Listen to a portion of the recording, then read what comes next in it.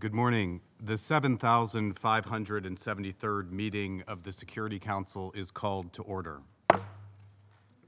The provisional agenda for this meeting is maintenance of international peace and security.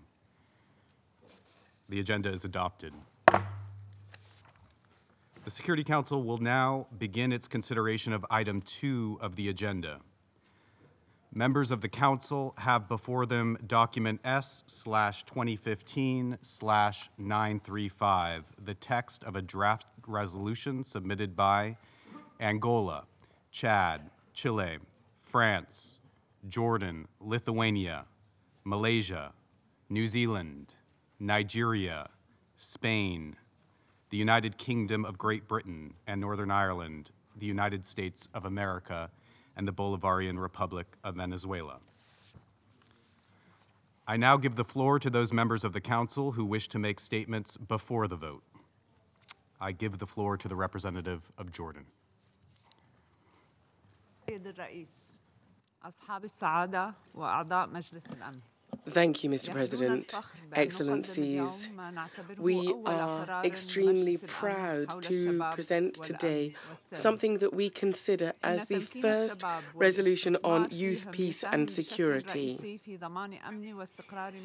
Investing in young people guarantees peace and security, as well as development and the progress of our societies.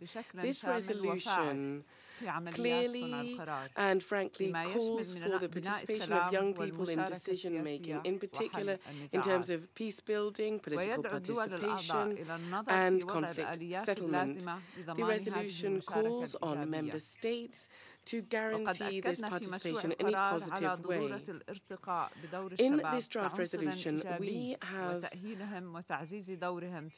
uh, asked for making young people positive and strengthening their role in societies, guaranteeing social integration, progress in social and economic development. The presentation of this draft resolution is the completion of efforts undertaken by the Prince of Jordan and following the public discussions on combating violent extremism chaired by him, as well as the Global Forum on Youth, Peace and Security that took place in Jordan in August. This led to the Declaration on the role of young people in peace and security. The adoption of this resolution will be a starting point for a new stage in the work of the UN system on the role of young people there are five elements participation, protection, prevention of conflicts, partnerships and social reintegration.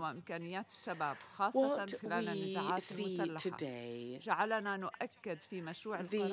curation of young people during armed conflicts, bolsters our conviction of the key role of young people in preventing conflicts and calls us to urge member states to create a propitious environment and provide mechanisms to help uh, them to build peace and to ensure the respect in particular for religion and to promote tolerance.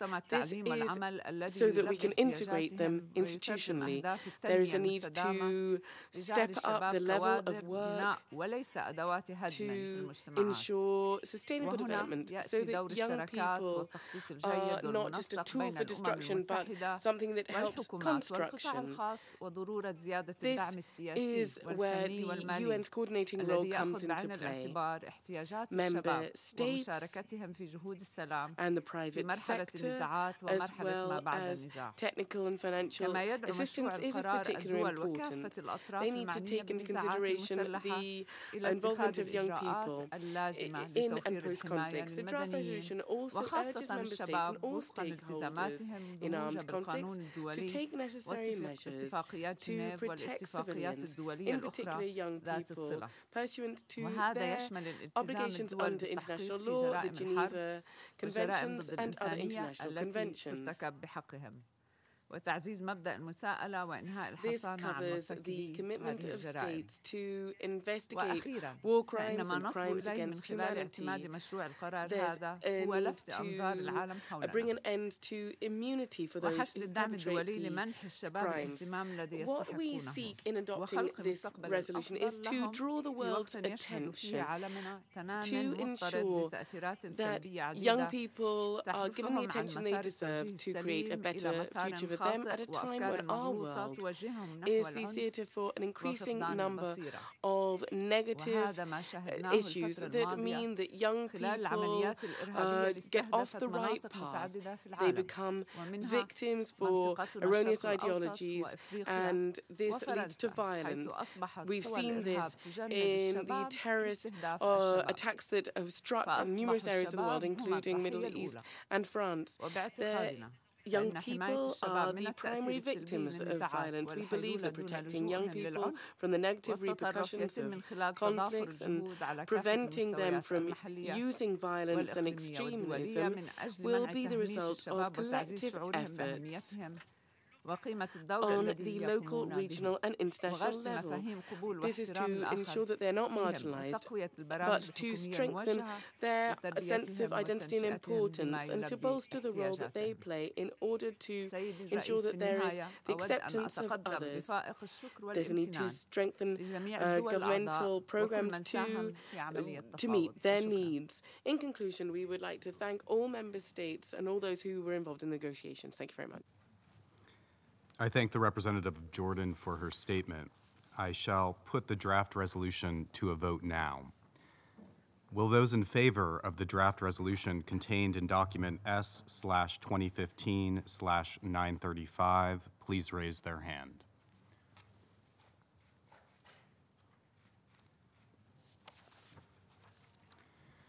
The result of the voting is as follows. The draft resolution received 15 votes in favor.